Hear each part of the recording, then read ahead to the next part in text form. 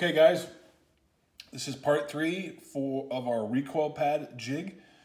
We're going to drill and tap this uh, hole here, which we're gonna is gonna um, our quarter 20 uh, screw is gonna screw into here, and that's gonna attach this right here to our base um, for our recoil pad jig. So for this, you're gonna need your starter drill, obviously to start out a number seven drill, which is the drill size for a quarter 20 tap, okay? So starter drill, number seven drill, and a quarter 20 tap. Now you see this tap right here, this is your plug tap, okay? Because we can't use a starter tap because we're not drilling all the way through. We're gonna use our tap and we're gonna be tapping sort of a blind hole down through here. So we need these threads to get all the way down to the bottom, which is what we have with this tap, okay? So that's what we're gonna do. You see I used my tap guide again to line myself up. So now I am in the center of my part, okay?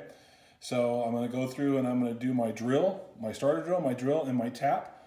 And we'll get this uh, attached to the plate and then we'll mill the slot here on the bottom for the arm, all right?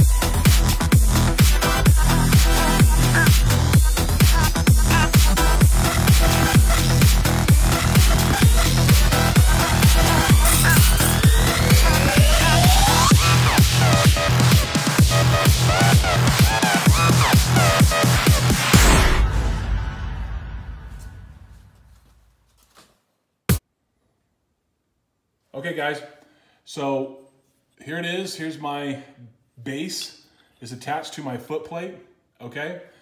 Um, got my counter bore here on the bottom of the foot plate. It's attached to my base, which I drilled and tapped, all right? So pretty basic of where we're at right now. Um, you saw in the video uh, where I, when I was tapping this, I used my tap guide, okay? You don't have to use this. You can power tap if you feel like you, you want to. It's a good skill to learn how to power tap, okay? Um, but if you do use this, make sure you use your tap guide. Okay, your tap guide is gonna allow you to make sure that you, you're tapping in a straight line, okay? So that's this part of it. I'm gonna move on and cut this slot next, and I'll probably just go ahead and cut all this in here and, and then no more commentary until I get to the end of it and we get uh, assembled, all right? So that's where we're at.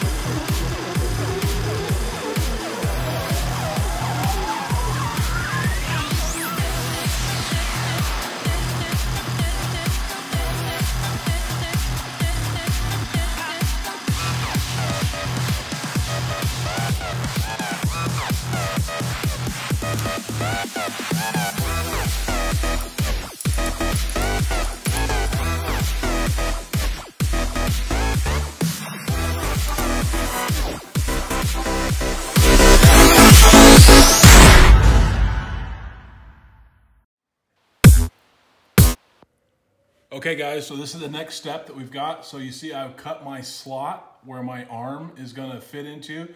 Uh, this is the arm where the recoil pad rests on top of is gonna go in the slot right here.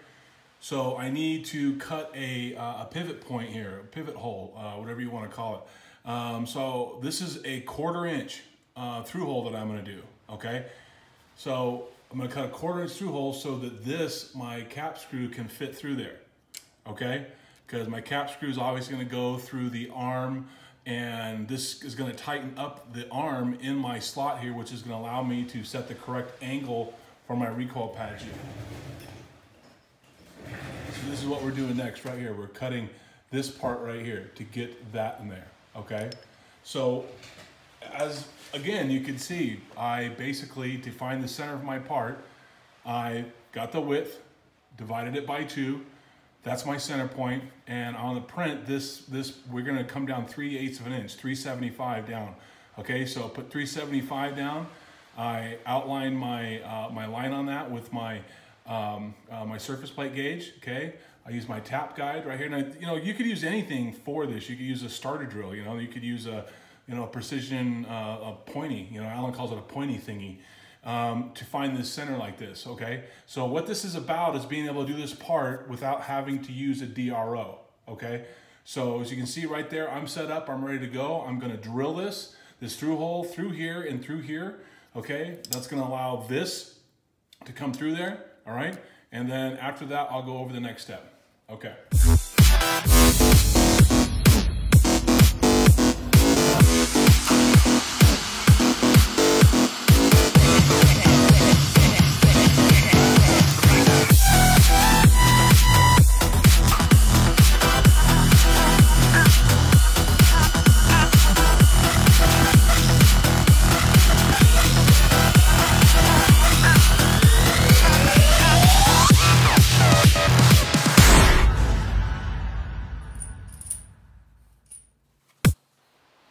Okay guys, so you can see I've got my through hole there.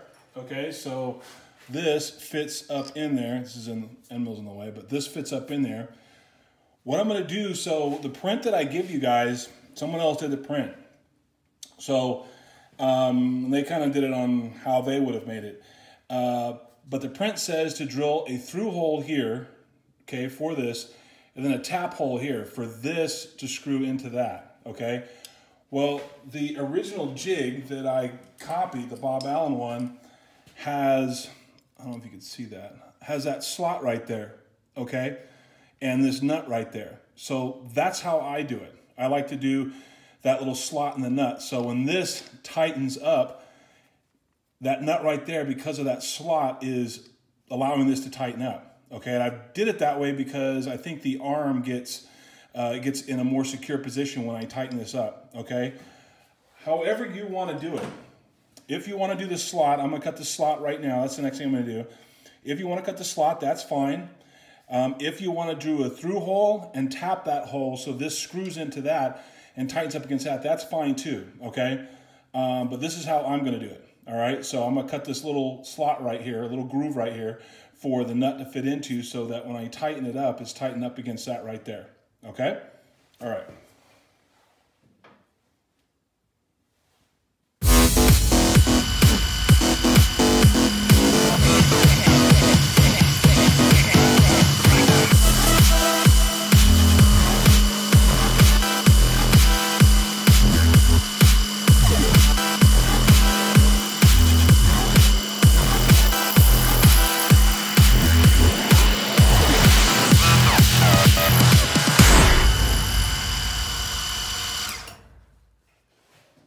Okay, guys, so I wanted to show you what what basically this is, that slot right there. Okay, that's what I milled, that's what was in the last video.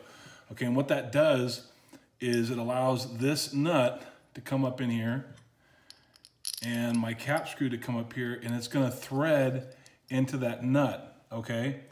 So it threads into the nut, um, it tightens that up. See the screw, the, the nut's not moving, but it's tightening up, okay? and that's going to tighten up against the arm, which is going to allow you to set that angle and be able to grind your recoil pad. So there's different ways that you can do that. Okay, you can just do a through hole here for your for your quarter inch 20 uh, uh, uh, uh, bolt here, um, cap screw here, um, and then tap this side as well, quarter you know quarter 20 tap and tap that and have it screw in there as well if you wanted to do that.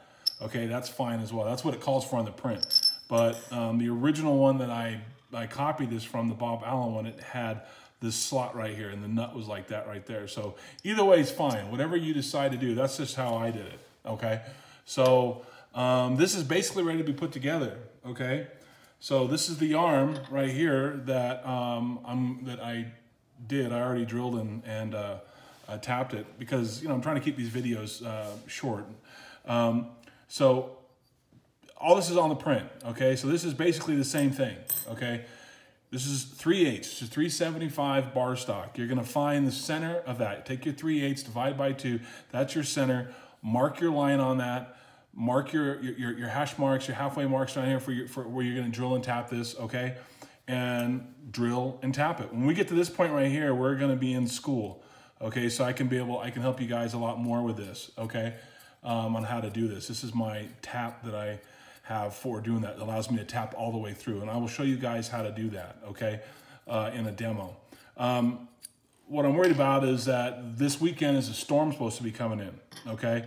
So storm's supposed to be coming in and um, I might not be see you guys on Monday.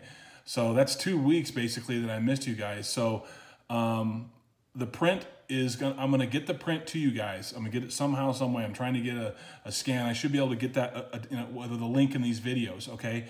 Do not wait to do this. Okay. Do not wait to do this.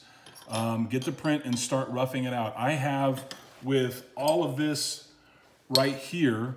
If I, with with all of this right here, I think I'm I'm two and a half hours total working in this. So you guys should be you know three and a half, four hours maybe to do all this. So you can get it done. Okay, but if you wait to do it in all one day, it's gonna show in the quality of work. Okay, so this is basically all your parts right here. This is everything right here, okay? So I'm gonna assemble this and I'll show you what I'm talking about when we get back of, of, of, of how it works, okay?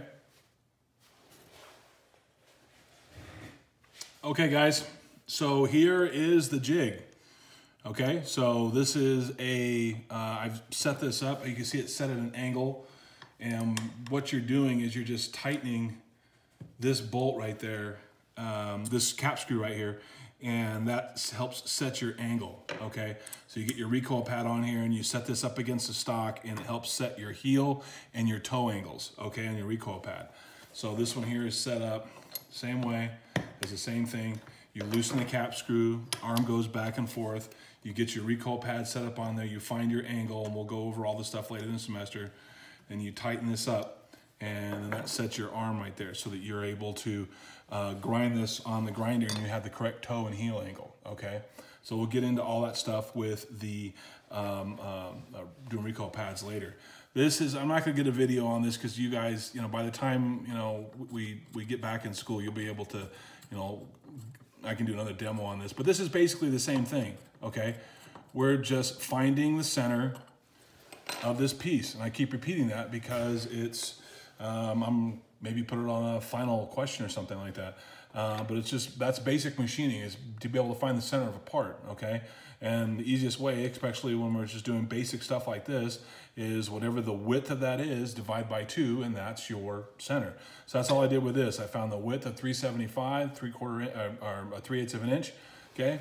Um, did my line, uh, marked out my, my, my holes there, drilled all of them, tapped all of them, kept everything in, in you know, I did, kept everything in a straight line. And you can see, you know, by doing that, you know, I'm able to get these, everything is no problem, okay? Uh, I don't have any of these screws here, these cap screws that I use on this one um, to kind of show you all that. But later when I make my, when I do a recoil pad installation, I'll use this jig that I made um, here. Both I made both of these, but I use this jig that I made here to, to grind this recoil pad so you can see how, that, how it works. So very valuable. I'm a, like I've said repeatedly, I'm a big jig person because they help they make our job easier.